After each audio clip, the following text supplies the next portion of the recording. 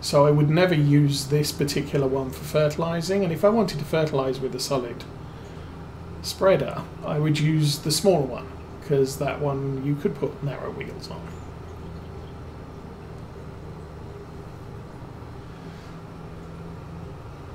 Ah, now another thing thing we've done in the past is to do a cover crop, do oilseed radish on a field.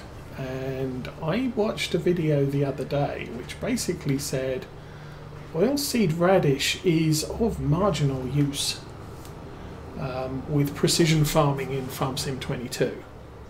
You can do it, but you only save a tiny amount of money compared with liquid fertilizer. So, hmm, you can't meter um, uh,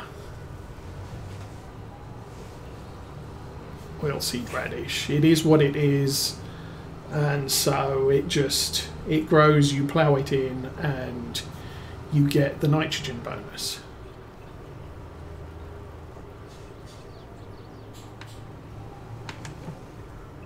Come on.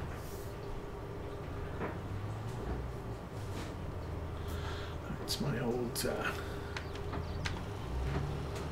keyboard thing. There we go. Oh. Uh, we could probably move a little further away from the edge of the field. And we are struggling.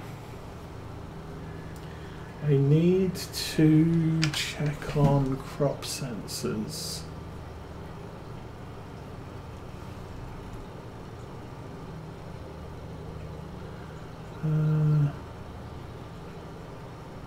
Turn on crop sensors. Let's do that. I don't. I have no idea if that makes a difference, but we'll do it anyway. So yes, the whole. Um, let's turn that off now. Um, the whole oilseed radish deal.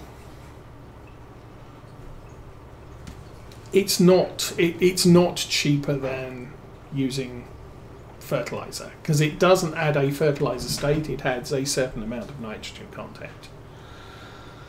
So you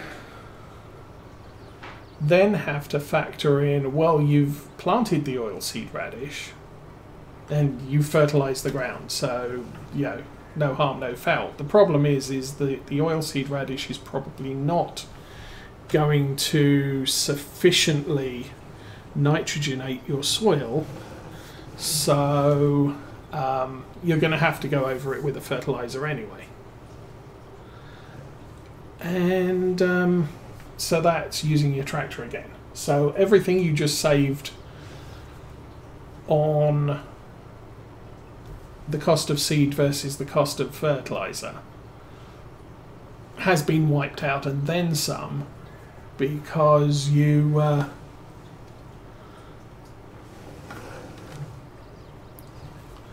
um,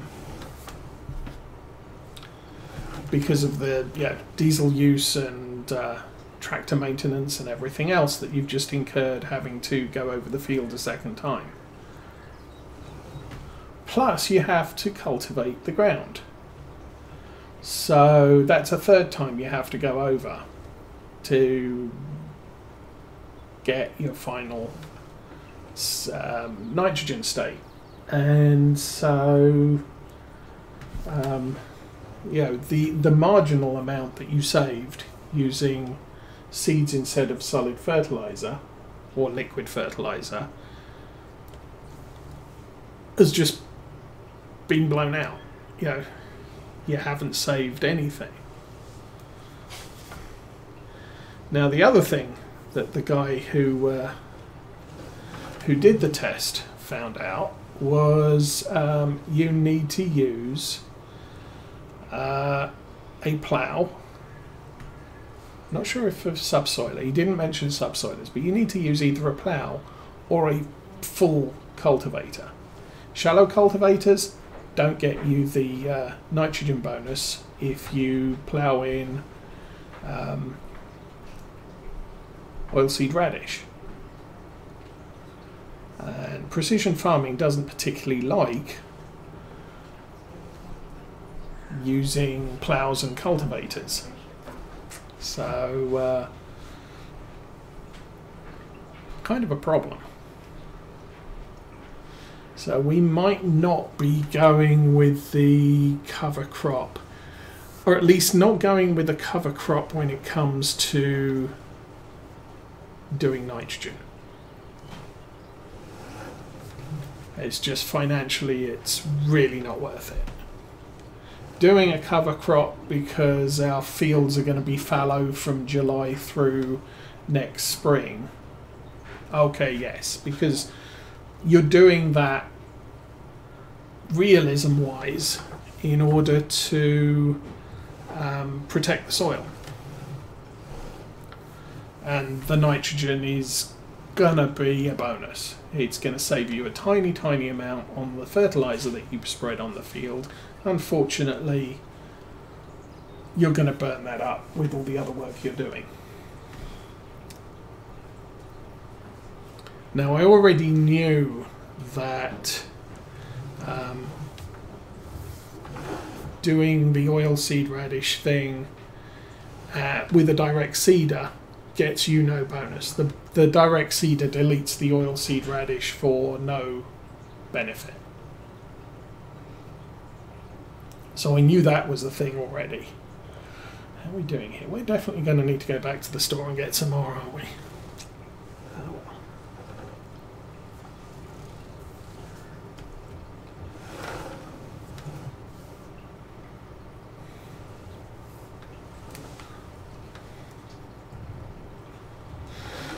But anyway, so that's the findings of oilseed radish. So the same would be true if we bought a field of potatoes and said, you know what, I'm not going to be bothered with harvesting potatoes. I just want to plough them in.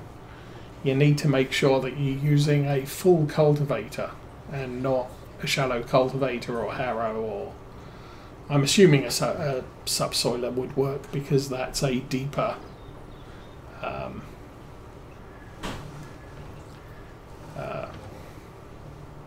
it digs deeper, whatever the word I want to use for that is.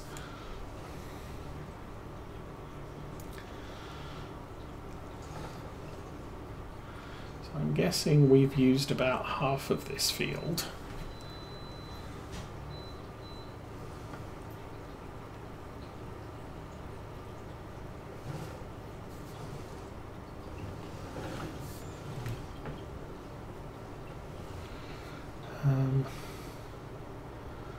Try the edge here. I'm really not sure this is going to work because it's said it meters it and just that bit there, just because it looks like I missed a bit, it may just be the, the texture. Doesn't work. That's going to run because I'm cutting out into the field. Anyway, we have 1800 litres left, so I kind of figure if I run this headland, we'll be done. And have to go back to the store.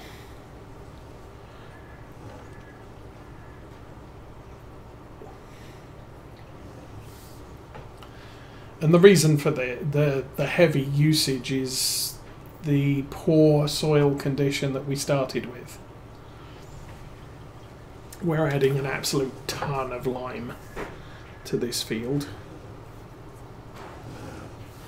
And that bit counts as done.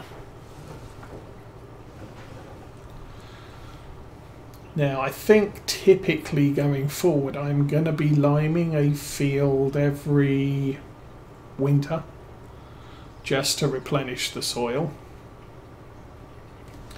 And so um, Probably not this winter for this field. Um, so next winter we're going to use a lot of lime on on this field. but But then going forward, we'll probably be using, yeah, a well, we'll we'll definitely be using a smaller amount because what we're looking at is topping up the field and never letting it get in a really bad state. Okay, what do we think? I think five more bags plus the remainder of what's at the store will be more than adequate. I kind of want to say four more bags, but I don't want to be sure.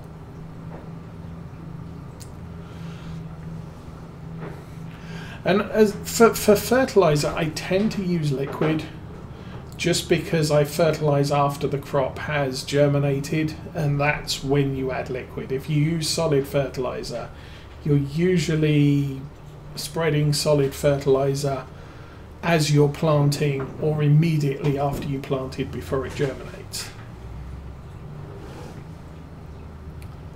And I don't see the reason of carrying two types of fertilizer applicator.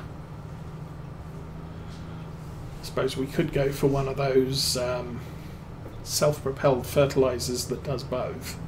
The problem with those is they don't do herbicide and they don't do lime. So you're always going to need something else, or you're frequently going to need something else.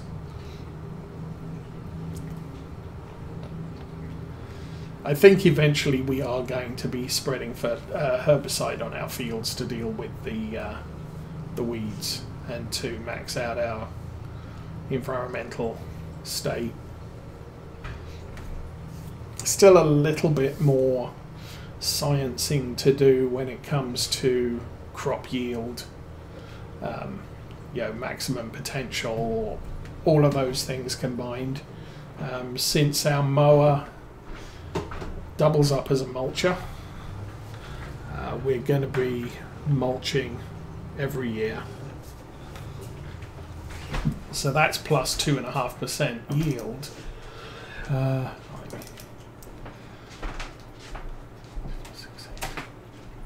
ten, five. Oh, five. Oh, 10,000. Okay.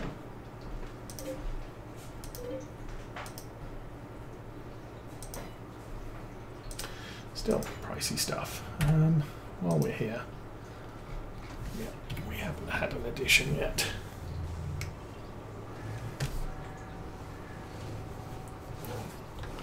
So that's 10,000 plus whatever was left over last time.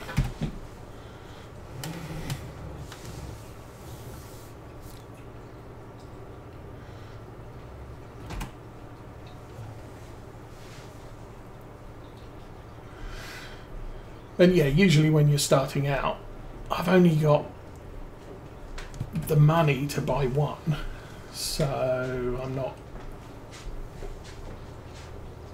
Yeah, I'm not going to buy a spreader and a sprayer, and I just find a sprayer is a little bit more useful. Although technically, if I do contracts, I should use a spreader on contracts which haven't germinated and a sprayer on contracts that have. And maybe we'll start doing that. I'll probably add the Kubota spreader to our vehicle roster. And full. Okay. Let's jump back in the cab.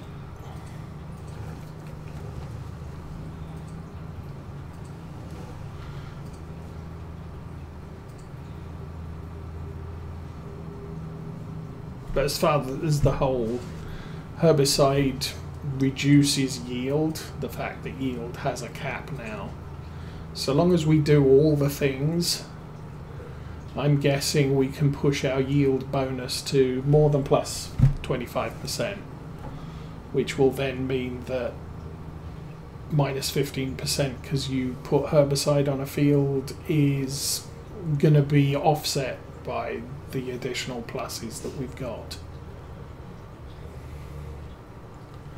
Oh, the other thing I was thinking we could do maybe buy some bee hives. Um, again, one, once you've placed the bees, they're they're free. Um, if we put it by our field that we currently have, then any time that we grow um, canola or maybe potatoes, um, we'll get a yield boost on those. Not that I expect it to be noticeable.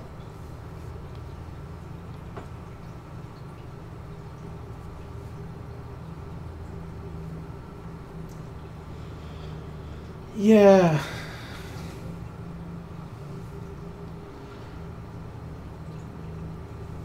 At this stage, oh, let's say at this stage, I haven't seen anyone sciencing does herbicide negatively affect crops if you're spot and spray? Or yeah spot spraying whatever. Um,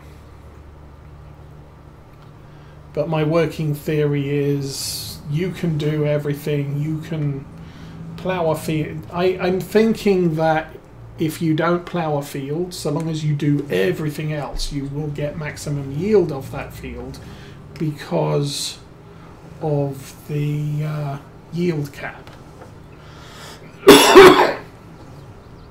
so the result there is um, I can um, plough after corn and not generate a lower yield next year because um,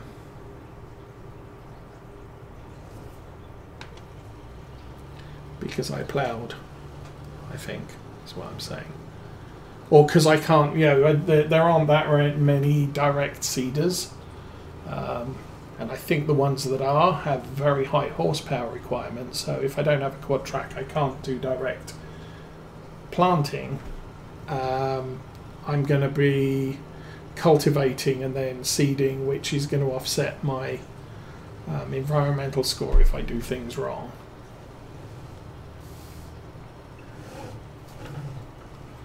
But anyway, there's, you know, because otherwise, who's going to grow corn? Because it's going to mess up your environmental score.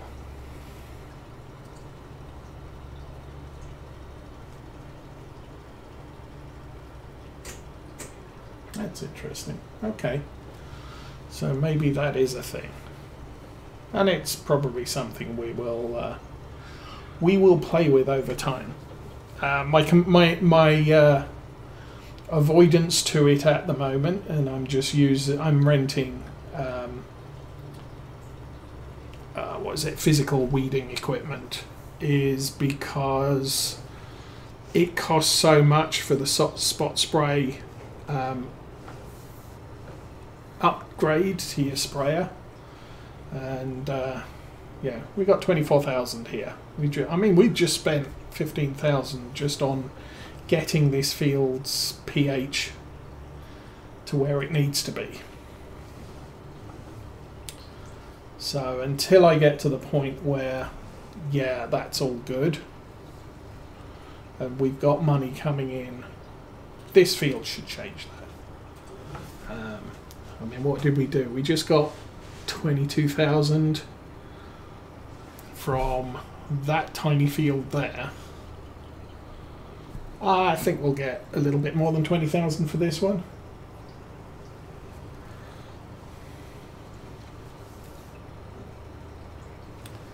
So doing that will uh, definitely be of some benefit, I believe.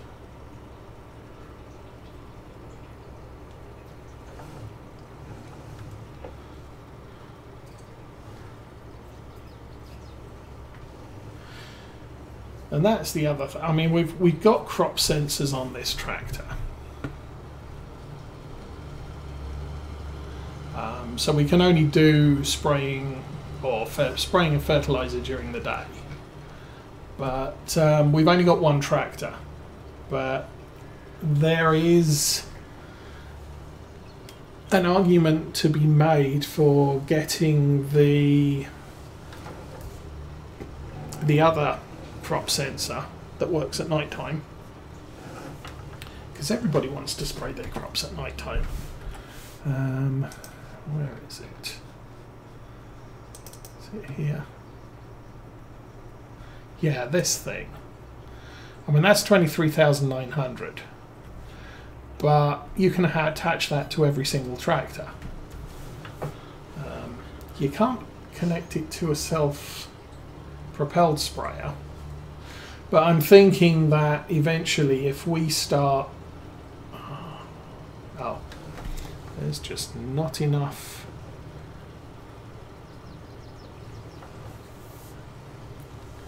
Um, um, um, limed bits here for it to worry about. Yeah, it's it's not a happy bunny.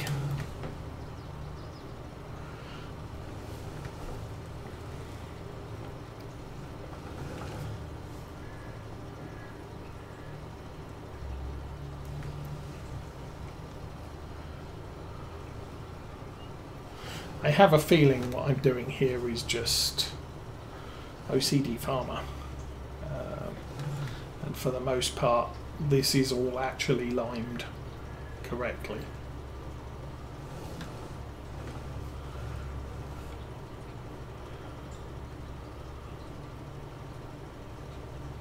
Because that's not doing its thing. Okay, we will fold that up. So actually, I'm fairly happy with that. We're down to less than a bag, so we did buy enough.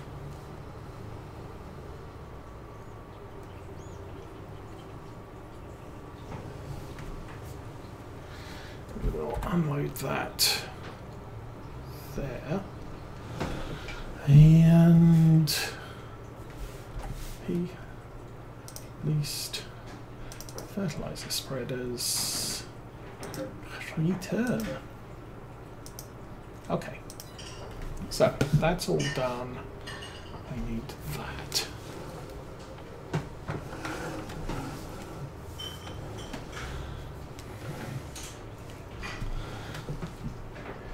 So yeah, I mean, time's going to happen. We're going to figure things out as we go along. This is, this is, this is learning for me, educational for anybody who's watching, um, as to how to do things and how not to do things.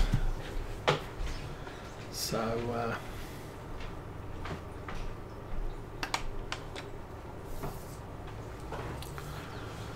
We'll figure it all out as we go. This should have fertilizer in it. Yay.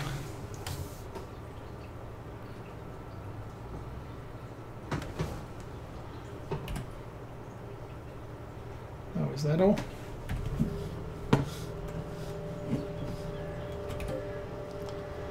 Um, actually back up. Yes, the silo is empty. Uh, 5,000.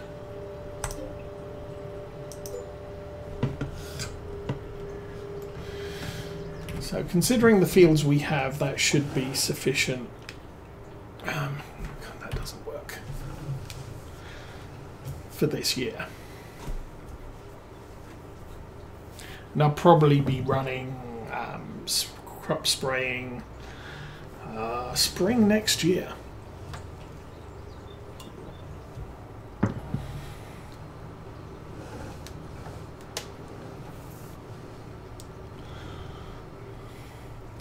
Now, future plans for farm expansion. That field at the top there also has totally lousy soil.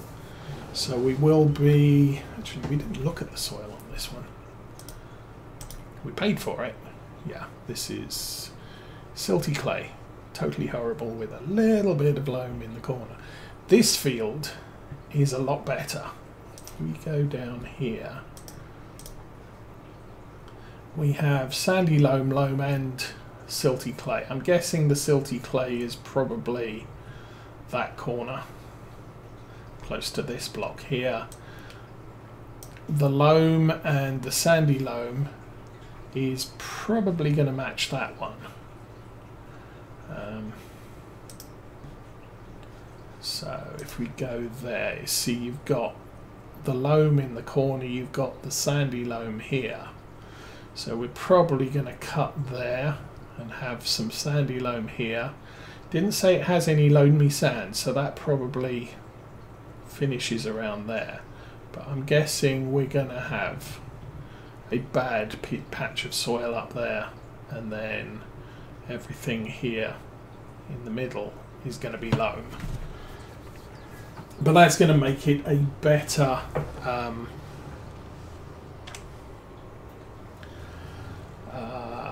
better crop field. So I don't need all of this grass at least I don't think I need all of this grass. Um, so for the most part we will just do grass where needed. Or yeah these two fields as grass. Um, and then add a crop field behind us. Okay, we have uh, our crop sensor is on. Our sprayer is active. We have automatic application rate. So we can see exactly where we've been. So that's the reason why I limed first and then um, spray second. And you can see from the nitrogen map at the top bottom left, grass really doesn't need much in the way of fertilizer.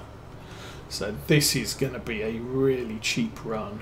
Probably going to end up with the tanks almost full. Probably didn't need to buy any extra. Let's put it that way.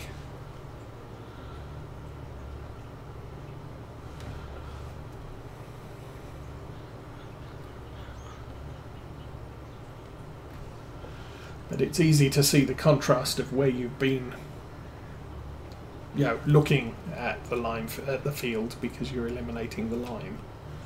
That said, you can use the mini map to uh, also figure out where you've been.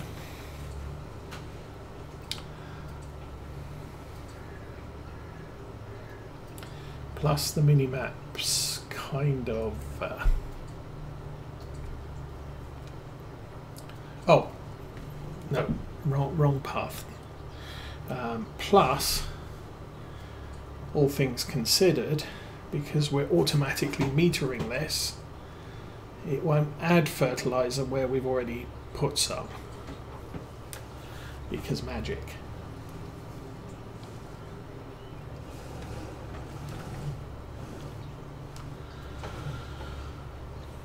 So even if I'm not paying attention to the mini map, I'm not wasting